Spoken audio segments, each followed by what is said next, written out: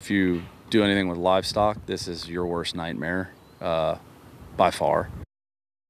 New this morning, at least 44 horses are dead after a massive barn fire in Ohio. This happened Saturday at a 60,000 square foot stable about an hour northwest of Columbus. Firefighters say the fire took about 12 hours to put out before the barn eventually collapsed. And four employees lived in the building who say they lost everything. A lot of the horses that were in there, I mean, we own several of them and we raised them from babies and, you know, she imprinted them as young foals and uh, our clients. They raised babies and they uh, had horses here in training out of their really nice mares, and um, so everybody lost a lot. Dreams.